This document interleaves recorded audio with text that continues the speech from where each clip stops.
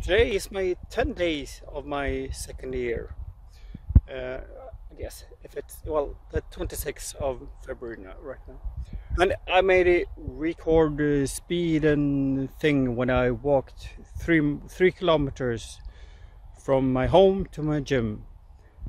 And that's great because I'm faster than I have been, and I really need the the numbers because I can't really think anything is getting better for me right now.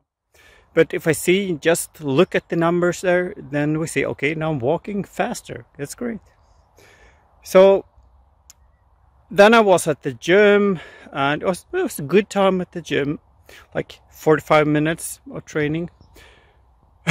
and now, now I'm, I'm going to walk back home it's not going to be too fast. It's not going to be any speed record or so, but I really enjoy this. This is a spring. Well, it's more than more sun, no, more snow than last time, but well, if you have this weather, then uh, I think it's just lovely to be outside.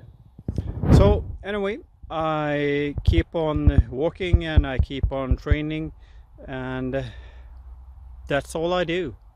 Well, and also, I've seen in some other case that I am improving because I've been joining to a few meetings at the office. Well, well internal meetings, of course. And I, I really am following what they're talking about, and I have my things to say too, and they understand me. So, yeah, we're getting there. We're getting there. I'm gonna go back soon-ish. Well, somewhere in uh, in the spring. I hope. I hope. I hope. And uh, well, that's it. Thank you for day 10 of year two for Jonas.